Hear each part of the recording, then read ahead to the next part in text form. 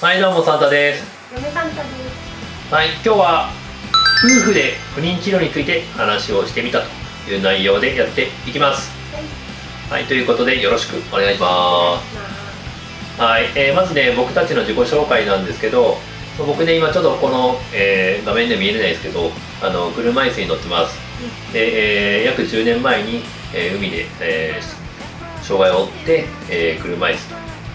いうことで、えー頸髄損傷という障害で、えー不妊治療を受けないと、まあ子供を授かれないということで、えー今回不妊治療を受けております。は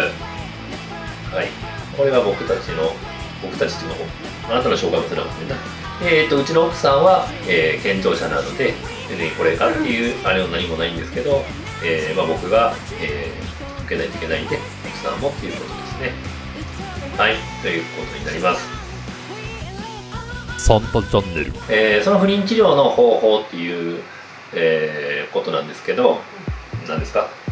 えっとひとまずはえっと旦那さんが旦那さんサンタさんがテセっていうちょっと手術を受けてでえっとそこから取り出した精子を凍結保存して、まあ、その間に、まあ、その前にですね私が採卵をしてでえっと後々顕微授精をしてでできた受精卵を凍結させてでまたそれを誘拐して移植するっていうようなやり方になってます。まあ、簡単に言うと卵と、えー種をと取り出してそれを奥さんの体に戻してあの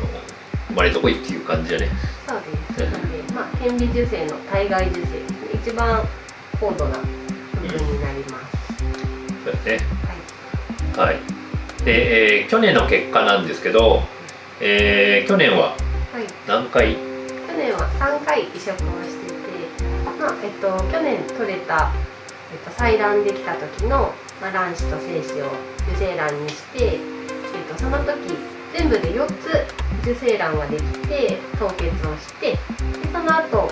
えっとまあ、溶かして移植をしていくんですけどその4つのうちの1個はちょっと溶かした段階で成長が止まってしまったので、まあ、それはちょっと使えないっていうことで、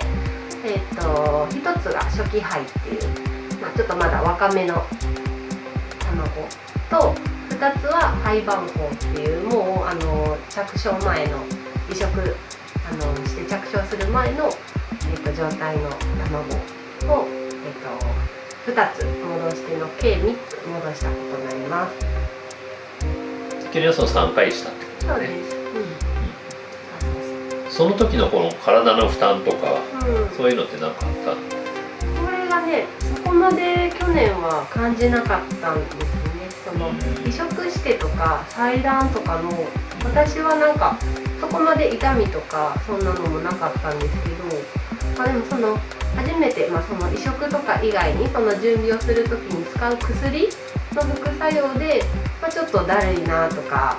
なんか熱っぽいなみたいなのはありましたけどそれ以外はそんなになんで私はひどくない方だったと思います。しんどそうな時もあったもんなまあね、普通に普通に仕事はできたんですけど、もう帰ってきたら疲れてもう寝るみたいな時は何回かあったかな。寝るのめっちゃ早かった時あったもんね、そうそうそうそう。去年はそんな感じでうんしたね。でその3回ともまあうまくいかはい。ずそう、なんですよね。えー残念なことに、でえーまあ、それにかかった費用、えー金額っていうのがいくらぐらいでした？えっとね、総トータルで、まあ、医療費の面だけで言うとざっと80万ぐらいかかりました。80万円ぐらい。それって俺のあの精子を取り出す作業もそこに含まれてる、含めてですうん。ああえっとごめんなさい。それは今回その、まあ、普通やったら範囲内に入るんですけどえっと行った病院、まあ、その先で、まあ、ちょっと研究機関でもあったのでなんかこう医療費で賄ってくれた病院だったのででサンタさんはえっとこう重度医療。そう重度医療の制度を使っているのでありがたいことにそのテセの手術と入院費用かな？入院費用は別か、えっと、テセの手術自体は、まあ、こう実質、ね、前払いで後から全部お金が返ってくるって感じだったのでそこの負担はありがたいことになかったんですうちは。でも普通やとその旦那さんのテセの方もあの医療費にはならない部分実費負担の部分なので普通はねあのなんていうか皆さんお金をかけて頑張られてるところかなと思います。じゃあ実費っていうのは大体どれぐらいだったの？実費だからそれが80万円違う違う実費っていうのはその自分らが出したお金補助とかあその引いたお金で実際にかかった金額。あはいはい。かかった金額はいくらやる総トータル80万円払ったうちの助成金制度を使ったので、まあ、結果55万円ぐらいは返ってきたんですね。だからざっと25万うんから30万円ぐらいの、まあ、実費で一応1年間終えることができています、うん、でもまあその全て前払いで後からねあの年を超えてから返って返ってくる年度末に返ってくるものになるので、まあ、先にそのまとまったお金っていうのは必ず必要になりますね。じゃあ不妊治療でお金かかるっていうのはそういうことだから。最初にお金がかかるからある程度、でそれがちょうど僕たちが、えー去年やって今年からか。今年から不妊治療が、えっと保険適用になったから、またちょっと今年のあのかかる金額とか、うんうん。まあ、そういうのはまた変わってくるから負担もねだいぶえ減ると思うし。そうね、まあね、トータルその、まあ、助助成金をもらっての最終トータルの金額っていうのと、まあ、医療保険での分とっていうのがどれぐらい違うのか、まあ、同じぐらいなのかっていうのはあるんですけどその毎月かかるその前払い分っていうのがなくなるとか、まあ、3割とかでいけるわけだから、その取り組みやすくはなると思いますすごい。最初に何十万って必要ないのはまあねそうですね。だから去年とかだったらもうねカード払いとかしてたらその月毎月こうどんどんどんってお金が 減ってってたみたいな感覚がちょっとなくなったかなと思います。びっくりするぐらい高かったうんん、で、そうやね。そうね。薬とかまあ注射とかもいろいろあるんですけど、まあ普通に1回通院して支払い額を見たら8万円とか 普通にあったので、そうそうそう。一番高かったうん。薬とかそういうサンタチャンネル一番でもやっぱお金がかかるのは採卵おあとは、えっと、注射のお薬かな。自己注射の薬と、まあ、それ以外のものもあるんですけど注射代が高かったかなと思いますお腹に注射するやつやな。お腹に注射しましたね、注射2種類しましたね去年は。うん。あれ生で見てたけどいやーなんか慣れないし怖いなって思う。でもね、あのあれですよ、採卵前の普通に自己注射をする一般的なその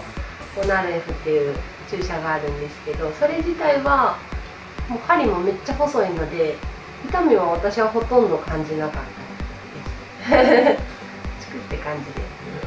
う注射が嫌いやからうん。見てるともうね嫌だ人のでも自分のでも嫌だなるほどね。糖尿病の人とかが使うようなやつを中にプスッとこう刺すっていう で去年のこう感想感じ。うん。っていうのはなんかある？去年は何やろうななんかでも個人的にはその治療をするのはそんなになんか嫌とかそういうのもなくてなんか治療に対するこう怖さとかも別にそんななんかね振り分けなかったんですけどまあ初めてのことなんで、まあ、緊張とどんな感じやろっていうのとあとはまあなんかその精神面かな。精神面、まあ、すごい期待をしちゃうのでそういうので苦しめられたというかまあちょっとなんかねいろいろ辛い思いをしたこともあったかなって感じです。本当にその不妊治療初心者っていうところでのなんていうかな難しさつまずきみたいなのはあったかなと思います。うーんなるほどね。うん。まあ俺はあれやねそんな自分の球切られて取り出してもうあとはあなたにお願いって感じで、まあ、自分にできることをまあ手伝うっていうかなんか送迎ができるんであれば、まあ、送迎したりとかそのレベルでしかないから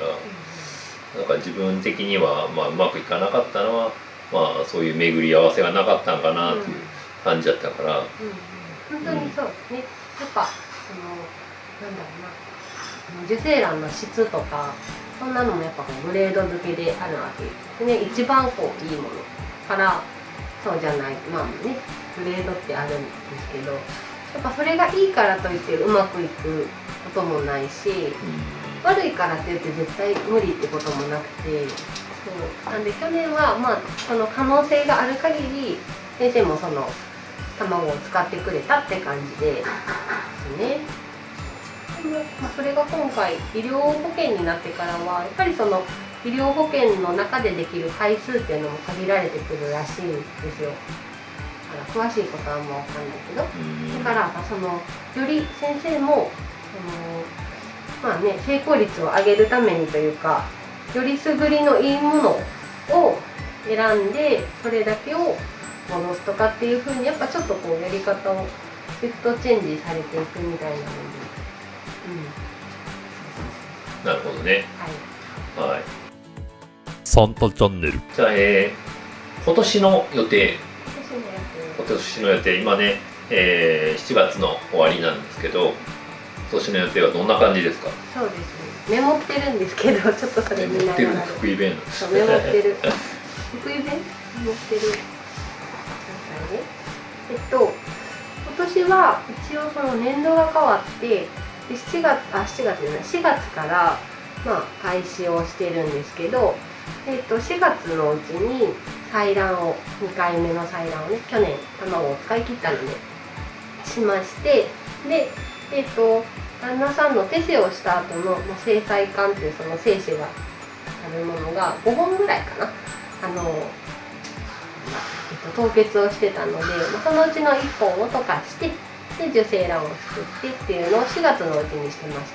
た。でその後、まちょっとコロナも広がってきたりゴールデンウィーク明けでなかなか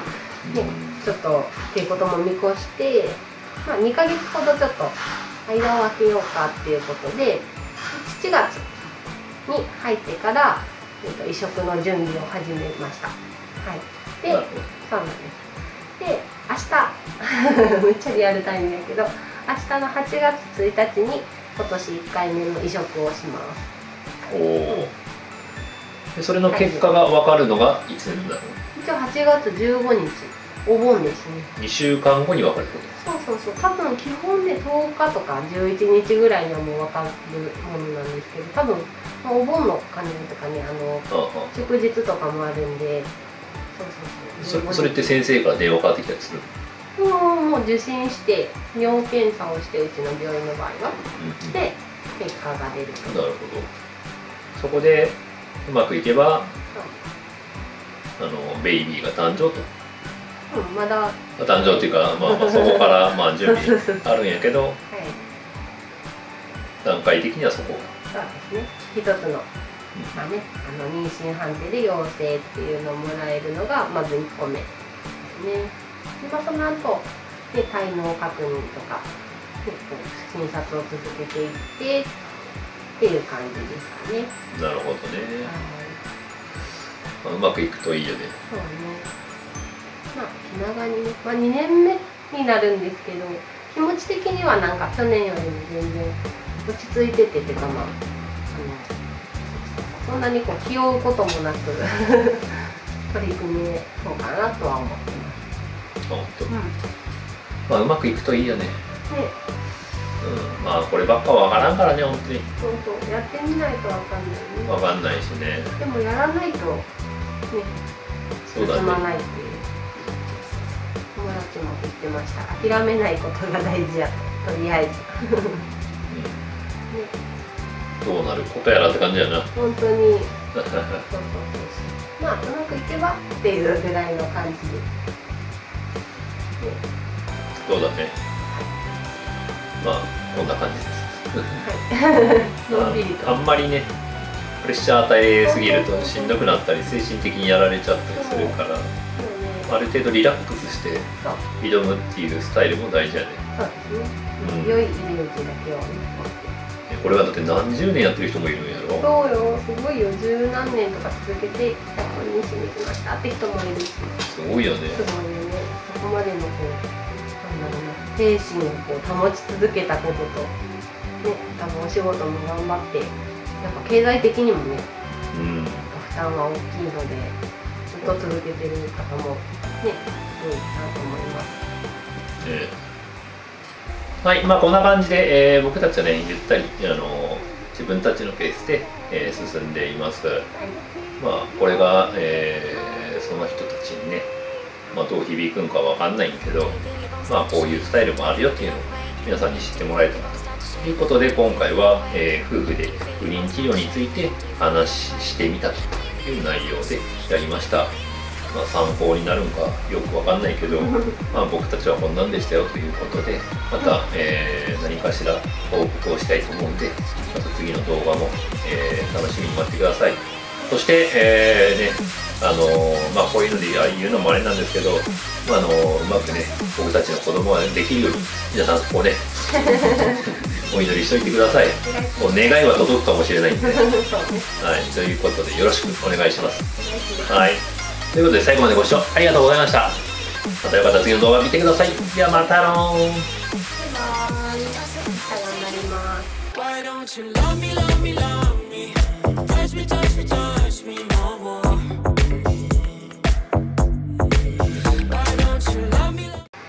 し名前をつけるとしたらなんて名前にする？男の子女の子どっちがいい？あなまず女の子やったら。女の子はあの僕広末涼子好きなんで涼子がいい。まんまやな。で男の子なら？男の子はドラドラゴン？ゴン竜って書いてドラゴン。っえー、絶対嫌や。ていうのはっていうのは冗談やけどかっこいい名前がいいね、そうね。うん、もう昔から憧れてるかっこいい名前がいい。竜とかね、うん、うん、あなたは？そうだね。サンタジュニア。